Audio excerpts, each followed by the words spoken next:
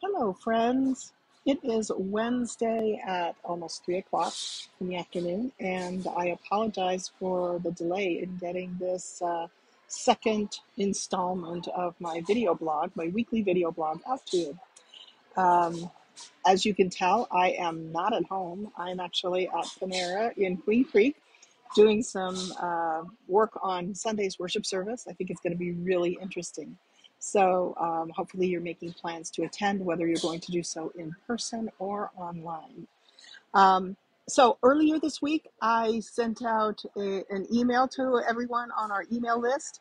We have about 375 folks who are on our list. If you did not receive that email, please, please, please send a um, send an email or uh, to our office at info at songoflifeumc.org. That's again info at songoflifeumc.org and uh, we'll see that you get a new one. Uh, if you don't have email access, just give us a call and let us know that uh, you did not get it. Uh, you can call the church office at 480 641 1200. Um, last Sunday was my first Sunday back after vacation. It was great being back with everybody, and I'm just so grateful that uh, we had some folks that attended online, or excuse me, in person, and a lot of folks who attended online. So that was uh, really awesome. Uh, this week, we are continuing our sermon series called Facing Issues That Divide. Last Sunday, we did a really interesting thing called Mentimeter. It was a poll, a live um, poll that was done during worship, so it was in real time. And the results of that poll were. Um, were such that uh, well I, I actually posted the results of the poll in the email that i sent out to to all of you.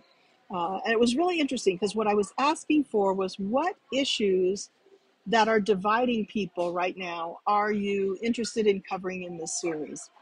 So um, there were about five or six issues that actually more than that about seven or eight issues that were um, that that rose up to the top. And so we're going to start this week with um, with social media because it was one of the big ones. We did a word cloud, and again, that word cloud is posted in the email that I sent out earlier this week. The um, so we're going to look at the ways that social media is dividing us as um, as people. Uh, not just from a political perspective. In fact, we won't, hopefully, won't be talking about politics at all, but just from the standpoint of um, individuals, friends, uh, people who we have um, been friends with in the past, and now all of a sudden we're not for whatever reason. Um, and we're going to look at some of the, the uh, toxic ways in which social media has been used to um, to spread hate uh, in our world. So, um, please be sure once again to take a look at that email uh, because it did uh, include some interesting information about stuff that is uh, coming up. Another thing that was in that email uh, were two, um, let's see, yes, two polls. And one of the polls is asking whether or not you're interested in uh, being part of a traditional Bible study, whatever that means to you. And so I'm asking some questions about that. If you would please respond to that poll, then we can maybe get that going, uh, either in person or online. And um, the other poll was for uh, having a discussion group on the sermon series, the Facing Issues That Divide discuss, discussion group.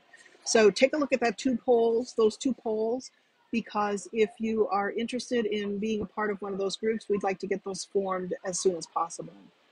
We're also looking at, uh, and will be uh, rescheduling our coping with loss group. It turns out Thursday nights are not uh, turning out to not be such a good time for me. And so I think we're going to move our coping with loss group to Tuesday evenings. Um, our campus is a little busy, but we do have space in the youth room. So uh, we will plan on meeting in the youth room on Tuesday of next week. I'm not sure what the date is, but I'll send you out another reminder before then. All right. I want to keep these blogs really short, but I do also want to remind you that if there's any time that you would like to meet with me or um, just have coffee or a cold drink, uh, please let me know because I am in Queen Creek probably, oh, at least four or five days a week. And um, and out and about since I really don't have much of an office at the church. But uh, I would very much like to uh, to spend some time with you and uh, and just reconnect, especially since we've been uh, embroiled in this whole pandemic for so so long. Um, you know, I just realized that I did not introduce myself at the beginning of this uh, video. So I am Reverend Jody Topping. I serve as pastor at Song of Life United Methodist Church, and it is my pleasure to do so.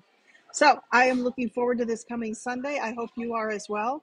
We have our usual worship services at 8 a.m., 9:30 a.m. Those two are both traditional services.